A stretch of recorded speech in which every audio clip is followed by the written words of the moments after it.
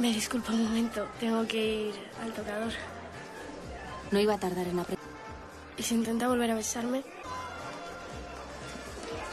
La gente cree que aquellos que se dejan llevar por las emociones no mienten. católicas!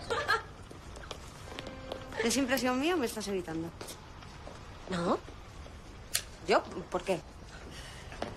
Ni siquiera has sido capaz de entregarme las transcripciones en mano. Bueno, eso es porque no te he encontrado en tu mesa, pero las transcripciones están a salvo. En decir tu padre. Sales con nombre y apellidos. Pues dirá Pilar, esto es un escándalo. Es un sacrilegio contra nuestro honor. La verdad es que me encantaría estampárselo en la cara. Estaría bien.